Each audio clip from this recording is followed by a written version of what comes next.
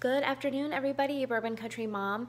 This past weekend, my husband and a friend of ours, uh, we all went out to the Orlando Taco Festival that was held at Drive Shack.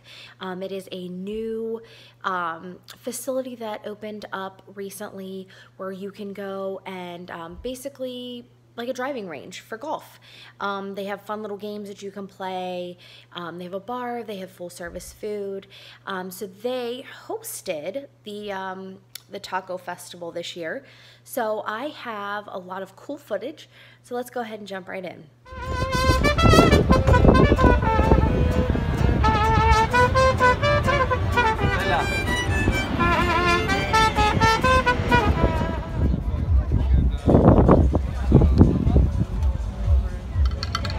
All right, so we've officially made it into the taco festival here at Drive Shack. As a VIP, you do get a bag inside of your bag when you we paid for the $50 VIP so you get an hour early entrance so at noon instead of at 1 you get vouchers for five tacos and four premium drinks a complimentary lifetime membership um, it's a little bit chaotic and I will go over that a little bit later but now I'm going to turn you around and show you all of the booths that are here outside of Drive Shack.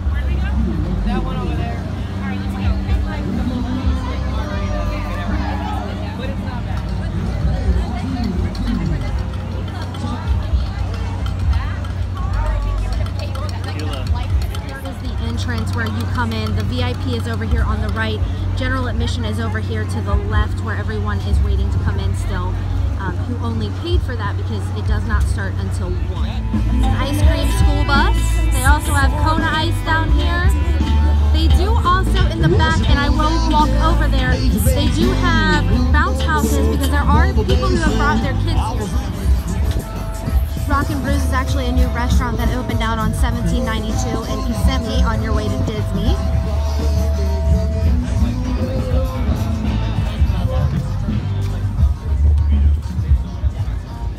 Got the Tequila Expo over here. Like I told you, here is the bounce houses back here for the kids in the back corner of the parking lot. All right, now down the center part of the parking lot, they do have a large area here with some tables and chairs for seating. And you can hear the music. No, it's just a DJ playing right now. Uh, but they do have a stage out over here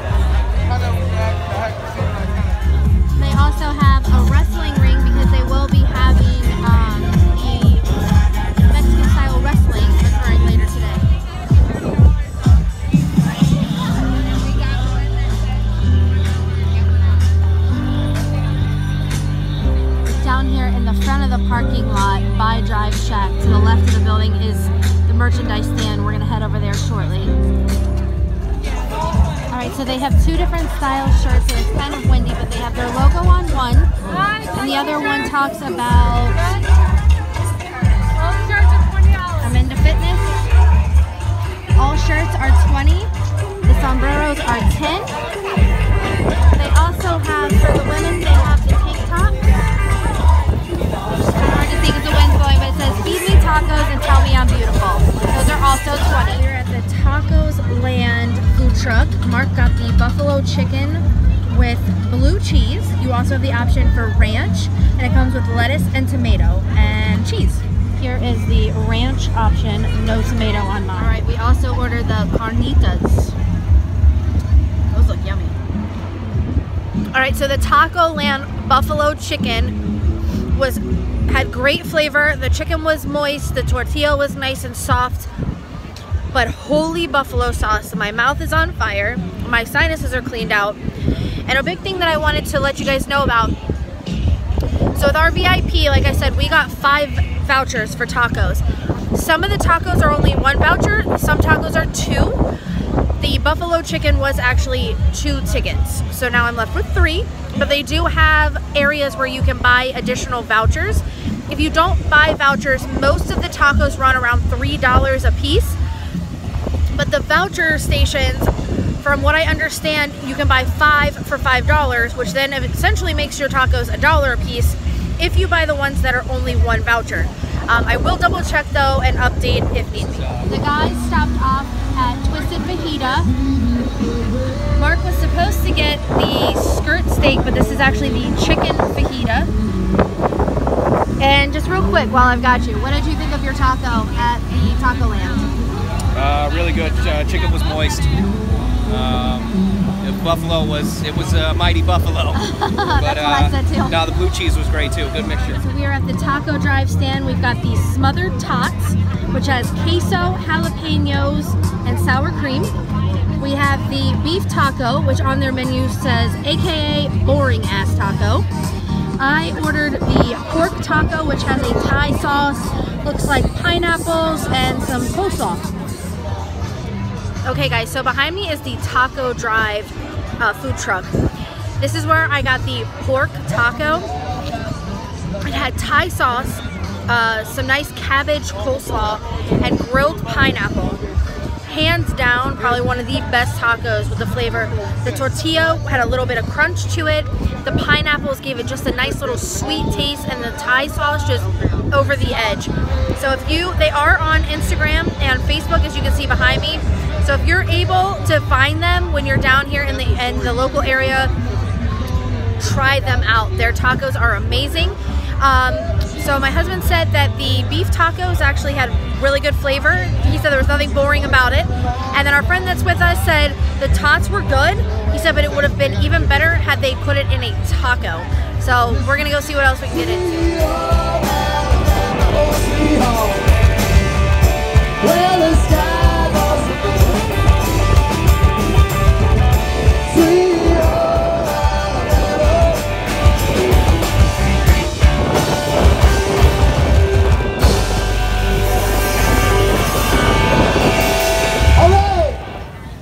we stopped off at Plaza del Sol and the boys got shrimp tacos. Now these are two tickets. What is all that green stuff on top? Cilantro. Lots of cilantro. Onion and cilantro. Okay, we're gonna head in and check out the VIP area, which is up over here to the right.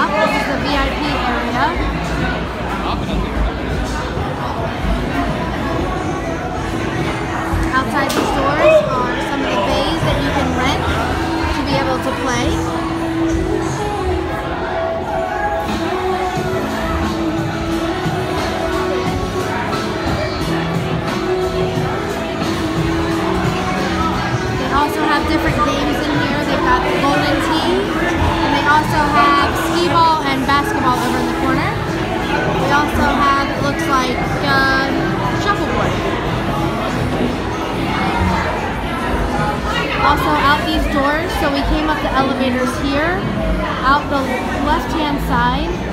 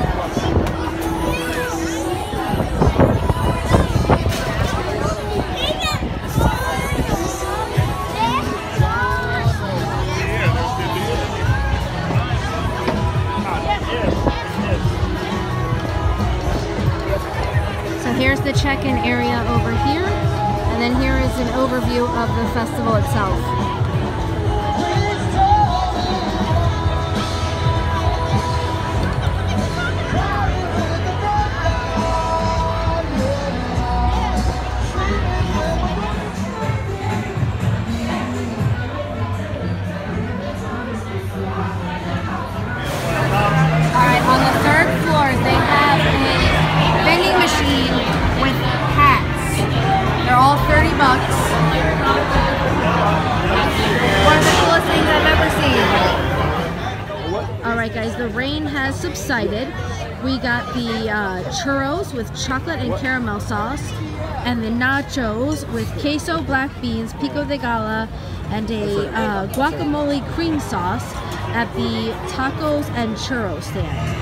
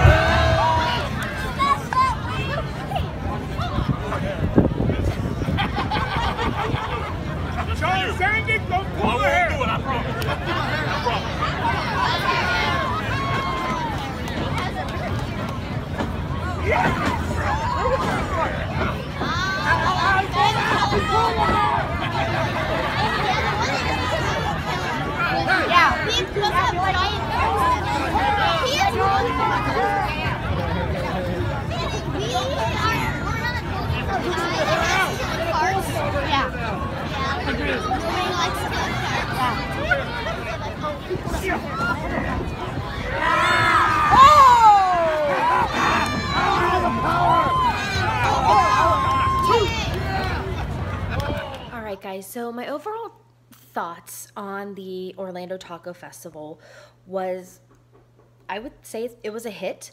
There were a lot of amazing food vendors there. There were also places that you could test um, or taste test tequila. Um, they had live music. The weather, for the most part, did cooperate.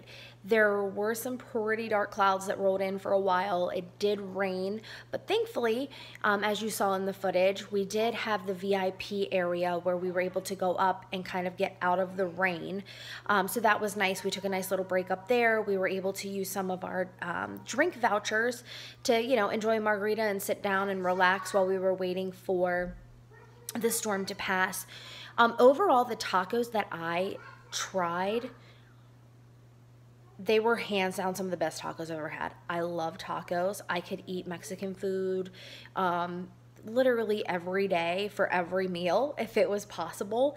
So the tacos that I did have, I mean, the flavor was amazing. Um, everything that the guys tried as well, they said was over the top, really good. Um, the margaritas were honestly just your average margarita. I mean, when we were in the VIP lounge area, they had a huge like um drink holder type thing with a spout on the bottom of it, and that's what the margaritas were in. Now, you could taste the tequila though, because I think with them putting it in that huge um, drink dispenser, like it kind of felt like the tequila kind of all settled to the bottom instead of being like mixed in since they weren't freshly made. But overall, I mean, we paid $50 per ticket for the VIP experience, um, which gave us an hour early access. We got five taco vouchers and we got four drink vouchers. We also got a shot glass um, with the taco uh, festival emblem on it, a little sample size of some type of hot sauce. Um, but you know, they had, like I showed you guys, they had the merchandise. I would say overall it was really cool. If it were to come back here again next year, I would definitely go check it out. You could tell it was the first time that they were having a festival. There were some hiccups and things in regards to selling overselling their tickets and there probably weren't as many vendors there um, as could have been. So I'm hoping if they have it again next year, we can go check it out again and it'll be even better than it was this year. Um, but overall, I hope you guys really enjoy the video. Um, if you guys are enjoying the videos, please make sure to comment, like, share, subscribe. Let me know. Be sure to check out my Instagram as well. I'm always active on Instagram. So I look forward to talking to you guys again soon. Cheers!